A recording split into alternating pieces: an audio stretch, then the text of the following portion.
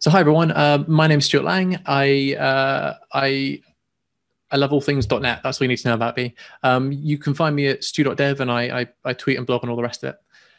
Um, today I want to talk about um, something called Playwright and Playwright Sharp, and it's a an automation library, a web automation library.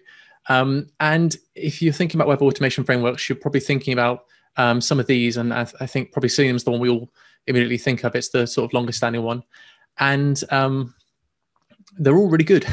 is the short version. Um, we've got Selenium, and Selenium works by something called WebDriver, which is its um, wire protocol for being able to send like JSON commands to a browser to say, hey, you know, click this button. Um, and it's it's pretty awesome. Like it's got some pros and cons. So like for example, pros are like you can run Selenium Grid, uh, you can run against like Sauce Labs and Browser Stack, and if you want to be able to run against any number of different versions of a browser, um, for example, like a really old Android phone and a really weird version of Samsung browser, um, you can do that with Selenium.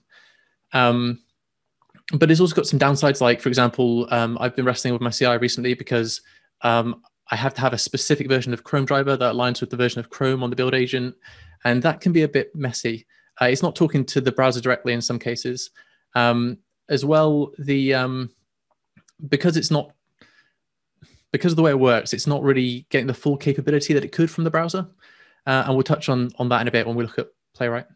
Um, another thing is like Selenium has this sort of one size fits all in terms of its APIs. Like for all the different languages, it doesn't feel like in any one language it's um, like a coherent, nice API. It feels like this one size fits all. Um, but there are lots of other options, and we've got Cypress on the right that's worth calling out. Uh, that there's a very different approach, and it's probably a better approach if you're uh, building a um, a sort of a client-rich um, like single page app or something. Uh, there's WebDriver IO, which is the bottom left one, um, which I don't know much about, but it's uh, apparently a very good option as well. And uh, then there's this sort of um, this one on the bottom right that's quite relevant to Playwright, which is Puppeteer. So this came out of Google um, a few years back, and it utilizes something called the uh, the Chrome uh, DevTools protocol. So it talks straight to the browser's DevTools, um, which in my mind is a much better solution to this whole thing. Like the browser DevTools is where all the smarts are at, and it's like a it's a really good solution to this whole browser automation problem, right?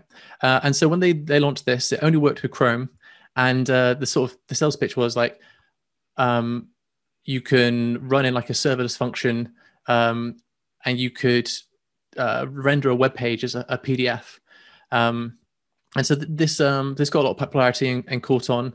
Um, and recently like only just this year they've added support for multiple browsers um, because originally it was just kind of like just for chrome. And that's that's not where the story ends. So the developers that built Puppeteer were originally working with Google. A couple of them left and were later rehired by Microsoft. Um, and so they kind of had almost another go at it, basically. uh, that's not the official line. Um, but this time round, um, there were some different objectives. Um, so um, it was going to be um, cross-platform out of the box. So uh, not cross-platform, sorry, cross-browser out of the box. So it supports Chromium, Firefox, and WebKit. Um, and it's evergreen, capable, reliable, and fast. And probably the, the big one to, to note there is the evergreen bit of it. So the way that uh, Playwright works is um, it talks straight to the browsers and it talks to, for example, Chrome via the um, the DevTools protocol. And so to be able to do that, for example, with Firefox, um, they need to actually patch Firefox to be able to support it. Now, the idea is that long term, they won't need to maintain their own patches and their own effectively slight fork of, of Firefox. Eventually, it'll all be merged um, up upstream. And so, for example, with Chromium, all the patches they've made so far have been merged. Um, but yeah, that, that's kind of one of the the consequences of of using playwright. So if you want that thing where you, you want to run against like um, an old version of a browser with something like browser stack then this probably isn't the tool for that. You want to stick with things like uh, selenium. Um, but then on the flip side you get these benefits of because they're working with um, the latest browsers and they've got the patches in there they get more capabilities. So it's more capable it's more reliable and it's fast Uh, and so here's just some of the features um, that come with Playwright. Um, I, I, think you come to expect uh, headless execution. Um, it has that auto waiting for elements to be visible, and there's a whole bunch of rules about how it waits. Um, you can intercept um, network requests, and I'll show you this in a minute because this is like super cool. This is one of the like the killer features in my mind. Um, and then you can, although you can't run on mobile devices, you can like emulate the screen size. Um, it has support for shadow piercing selectors. I don't know what that is, but that sounds super cool. And if you're a, a front end dev, I'm sure that's like really relevant. um, you can record videos, screenshots, and HAR files. So those are like the files you can open in um, in Fiddler that, that like record all the web requests. Um, it has this idea, and I'll show you the code in a minute, um, of contexts, and that acts as like a, a way of isolating sessions. So they all have their own cookie stores. So you can have like an admin user and then a non-admin user and have them sort of run side by side. Um, and finally, and this is uh, quite relevant, is it has um, bindings for C Sharp and, and Python. Uh, and I think they're going to add others. But um, Playwright itself is a, is a node library. Um, so I've got some links here and I'll jump first to the Playwright site. So um, this is the, the website and it's just basically a set of docs. And you can see here, as I change the version to an older version of Playwright, these browser versions change. So basically it's evergreen, right? So they snapshot the browser at that point in time and you get that flavor of Chromium. Um, and it's cross-platform. They have it for Linux, Mac, and, and Windows. Um, so if I switch back for a second to the current, and um, if you get some time, like if you want to learn more, this is the place to come because it kind of outlines all the functionality and gives you code snippets and all the rest of it. Uh, the thing I want to show you today is something called Playwright Sharp, which is here. And it, um, it originally started outside of the Microsoft org on GitHub and was mostly uh, built by uh, this guy called Dario um, and this chap as well, Mir. I'm probably butchering that. Um, apologies to him. Um, and basically, this uh, this NuGet this NuGet package acts as like a client to um, Playwright, the the npm package, which runs a little server. Um, but but it's all seamless. Like the fact that it's running in a little server mode is seamless to you. You just install the NuGet package and you run it, and it works just like Selenium or anything else. Um, so I'm going to show that in a second. I, in fact, I'm going to show it now. Um, so let's get the here's my code. This is just a console app. And I've just included the Playwright Sharp package. And so with no code here so far, I could start building this out um, and showing the APIs. But what I'm going to do instead is show you something cool, which is um, this. So um, if you install the CLI um, with like a npm install dash g, you don't have to do this, by the way, but this is just a, a cool little demo um, you can run this little command line tool that will code generate you the C sharp. So if I run this now, we're going to get a browser that's going to pop up and I'm going to go to, uh, I want to say to do mvc.com. Yeah. Uh, and then I'm going to click on React. Uh, and this is a little React to-do list. And I'm just going to type hello, enter. And I'm just going to position my console over here. I hope you can see this. Um, so as I'm typing this, hi everyone. I hope you can see if I wiggle my mouse around here. As I'm typing, it's like generating the code that I would want to to write um, for my test. So if I close this now, then we've got it all here in the console. So let me copy this and put it in my code file.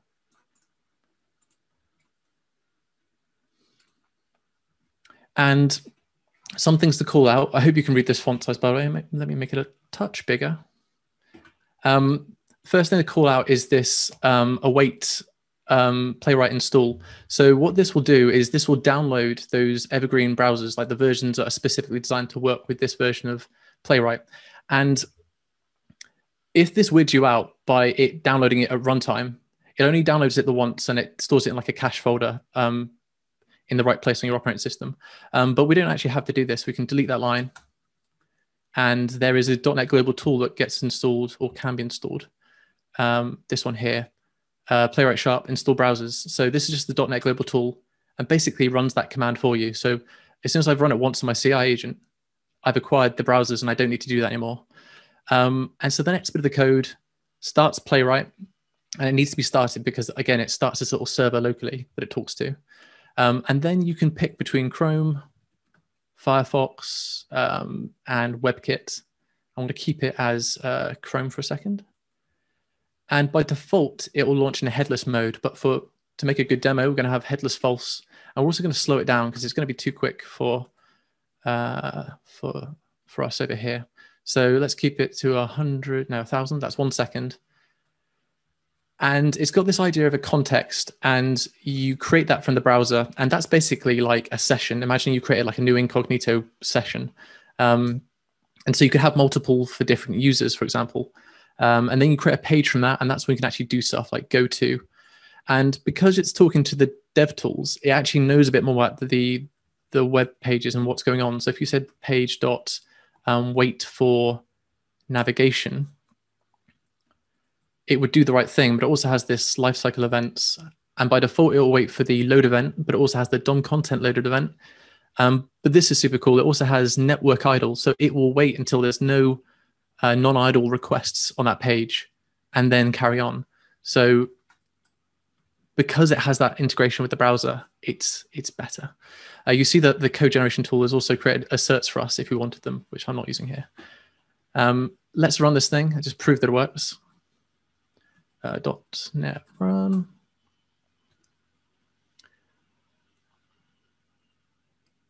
And so the first time it's going to compile it. But here we go, we've got Chrome running, and I put that one second delay in it, so everything's going to take a second in between.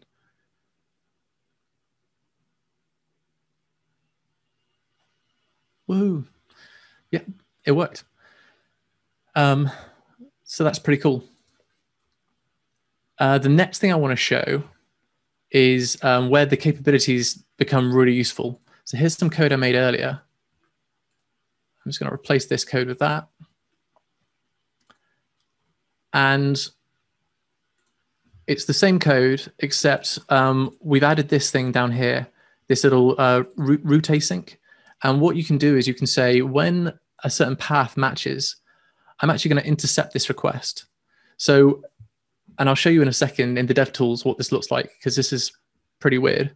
Um, you can uh, you can then with that request um, do, do, stuff like log out the, the URL, which I'm doing here. I'm writing it to the console, but you can also decide what to do with it. You can say like dot continue, which will let it go happily on its way, or you can say dot fulfill, uh, and I'm going to fulfill it with an OK status code and some content that I've I've done earlier. So here I've got some content where I've just replaced the JSON with hello.net Southwest. And so if I run this, let's run it. Hopefully it works. Oh, um, I took out the code that, that actually navigated to the thing. So if I click React, uh, yeah, you'll see here it's a bit small, um, but hello.net Southwest. And if we look at the web request here, um, in the Chrome DevTools.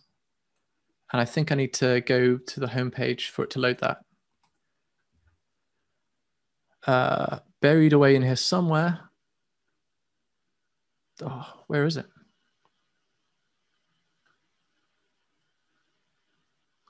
Total demo fail. I might, have I might have to browse back to it again. Hold on. Where's the React? I'll hit this one. I tell you what, let me run it again just quickly because this is this is worth seeing.